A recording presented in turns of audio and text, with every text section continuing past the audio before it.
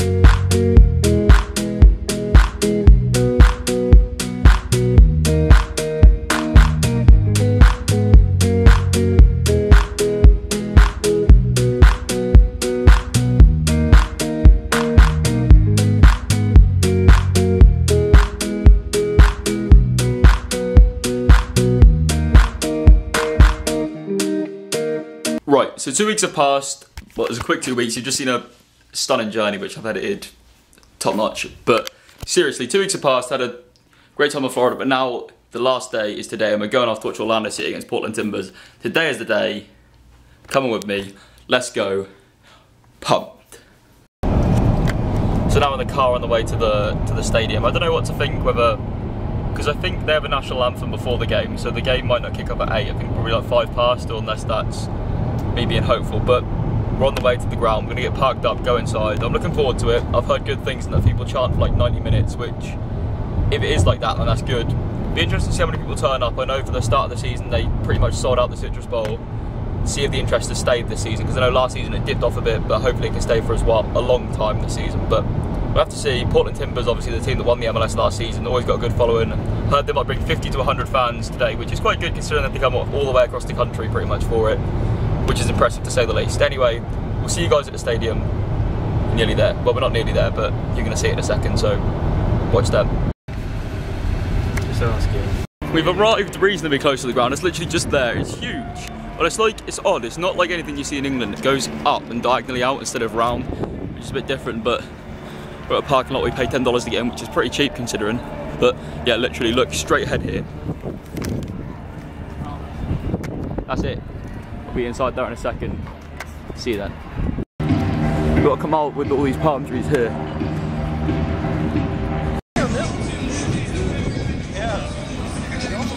There's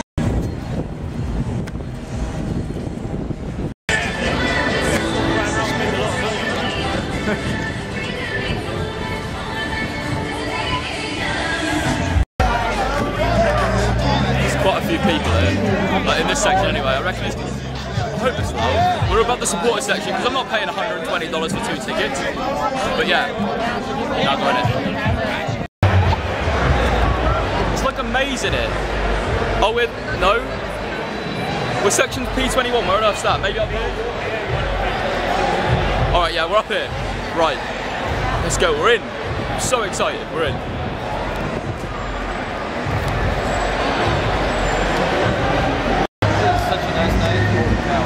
Really any need for an escalator to go up to to get to the ground. Can we not walk up steps? I mean, I'm not saying it's a bad thing, but you know, could walk.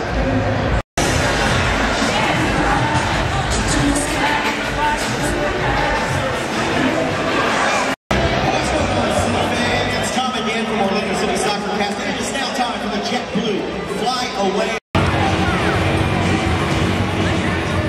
I don't think we could have got any better seats other than we were in the supporters section, but these were. It came to $75 for two of these the supporters section, but they came to like 160.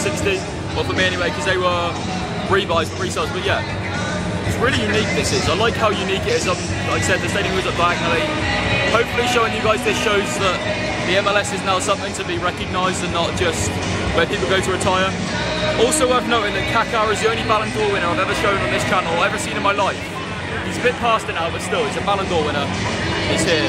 Three minutes till kickoff apparently, but I think there's a while yet.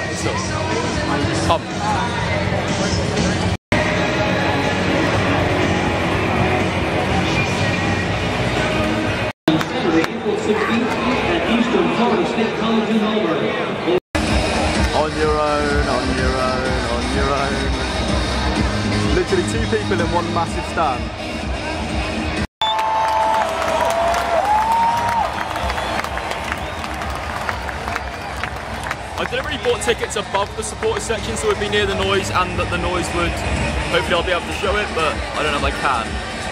But you know, anyway, score predictions, you gonna do one?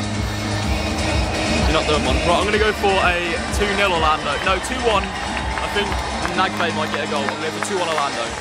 Shoots off in five seconds, but the player's just running on the tunnel, so I doubt that, but you know.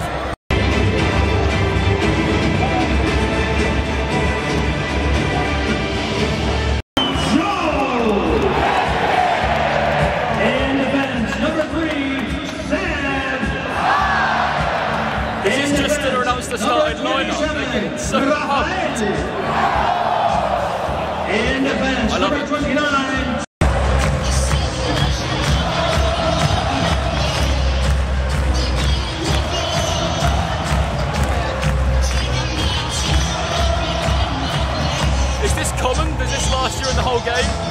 I love it so far. Like literally in England, there'll be the chanting before the game maybe, and then it'll carry on for a bit. The manager's getting involved. He's loving it. Um, but yeah, obviously people watching the football, they know how it works. But yeah,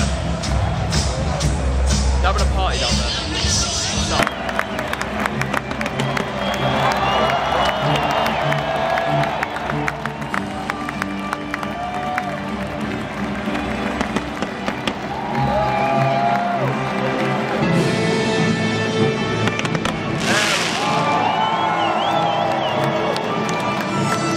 It's not needed, but it's such a nice extra touch. It makes it feels special. It like that's what it feels like a Champions League game, and it does. It feels like a special match, which is good. Every match will feel like it. Good added touches.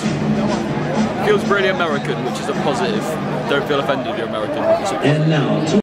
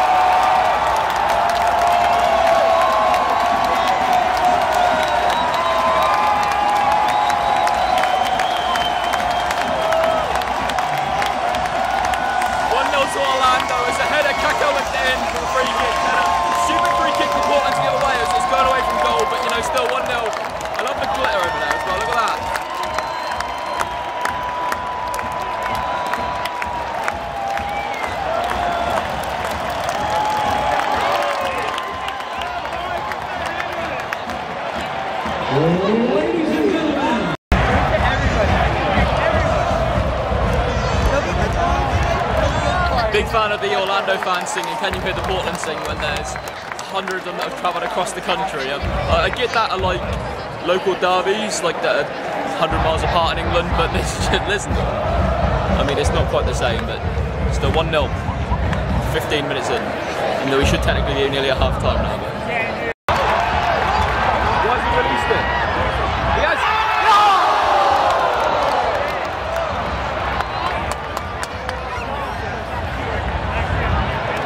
Big chance he had another option in the centre. Maybe Kaká wasn't the right one. Should have probably finished it from that point though, but still 1 0. Big chance.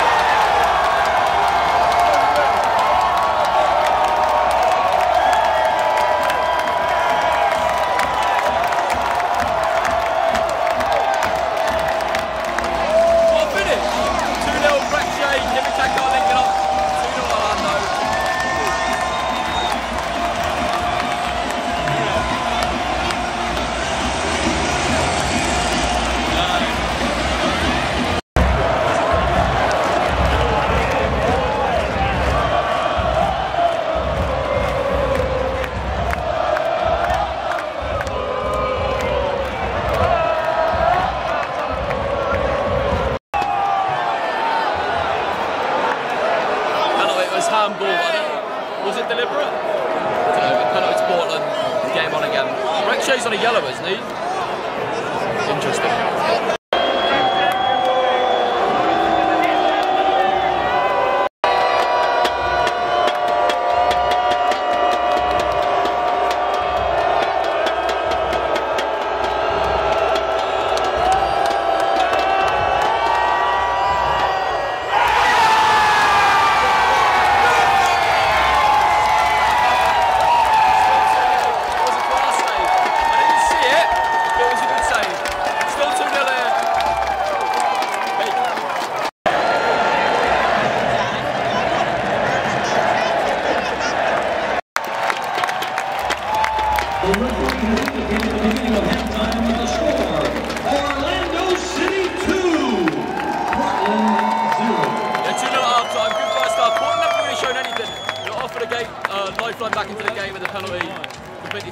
What a save. Well, penalty. I don't know what I'm The penalty was on target. It was a poor penalty. Good save. But still 2 0 at half time. Yeah, 15 minutes down to the second half. But yeah, good half. Good atmosphere. I really like the Port Orlando fans. Fair play to the 100 or so Portland fans that have travelled as well. I know their home fans are epic. First, first in the 10 presented stadiums want to visit in the world. Portland is, but um, yeah, epic fans down there, top notch. Need more of that in England. But yeah, second half. But boy! So it wasn't as much of an atmosphere as we kicked off this half.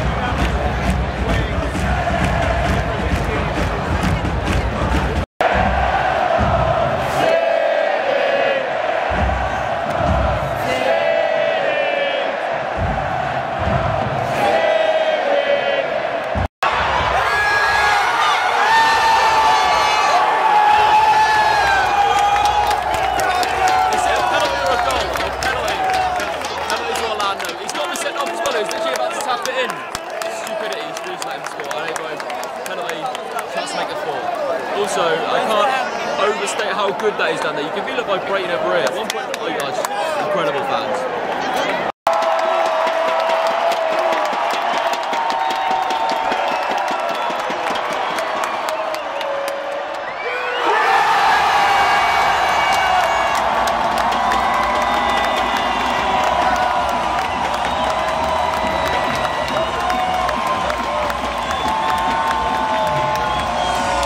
0. Um, I don't want to talk about this too much because um, it may be mentioned in a later video.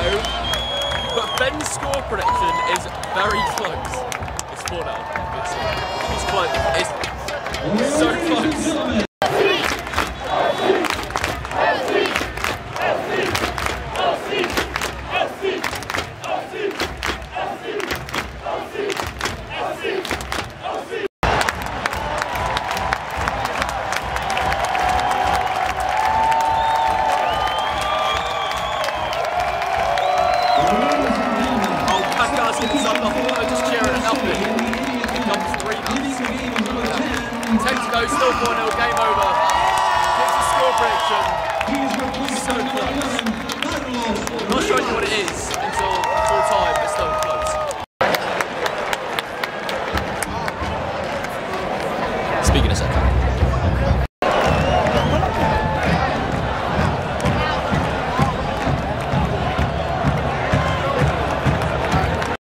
Just got back to the villa for the last ever time. Everyone's asleep, but come here, 500 likes in this video. 500 likes for this. I think it's going to be a long shot. It's going up at 12 p.m. on a Monday.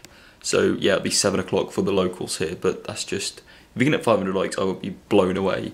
If you could help me out by sharing it on Twitter, anything like that. But the MLS is is going to be big. It's already big, but I think US football is slowly growing to an amount that is amazing. I don't know whether other clubs have that same atmosphere. I know that Sporting KC have a good, unique fan base. I know that Sounders have a good fan base. I know Portland Timbers fans are epic, but Orlando was blown away by that tonight. So, yeah. If you're new around here, subscribe. Next week we're off to Ebbsfleet United in the conference, which is a bit a bit different, but you know I'm buzzing for that as well. Football is football. Anyway, comment what your favourite bit on the video was as well. Gives a score prediction. It's going to be a midweek upload. Bastard.